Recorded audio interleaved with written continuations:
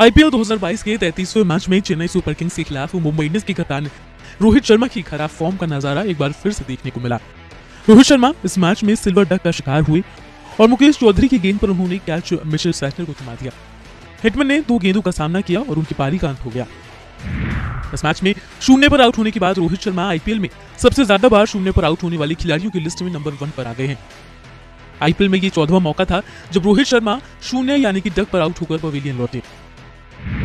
IPL में तेरह बार शून्य पर आउट होने के मामले में दूसरे नंबर पर कई खिलाड़ी हैं, जिसमें पीयूष चावला, हरभजन सिंह, पार्थिव पटेल, मनदीप सिंह, अजिंक्य रहाणे और अंबाती रायडू शामिल हैं।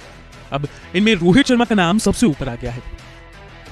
साथ ही आईपीएल के मौजूदा सीज़न में रोहित शर्मा के प्रदर्शन को देखें तो अब तक उनके बल्ले से एक भी अर्धशतक नहीं निकला है।